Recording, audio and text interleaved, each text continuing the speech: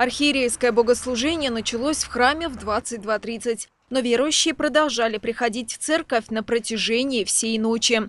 Божественную литургию возглавил епископ Владыка Мефодий. Также на праздничной службе огласили поздравительное послание святейшего патриарха Московского и всея Руси Кирилла. Вместе с прихожанами кафедрального собора на праздничной литургии были воспитанники православной гимназии Альметьевска. В рождественскую ночь храм был оформлен по-особому. Его украсили ели и еловые ветви. А на улице расположился рождественский вертеп, модель Вифлеемской пещеры, в которой родился Иисус Христос. В середине установили икону Рождества. Оно мне помогает. В жизни вообще без церкви нельзя. Семья уже прошла. Мы вот с сыном тоже догоняем потихоньку.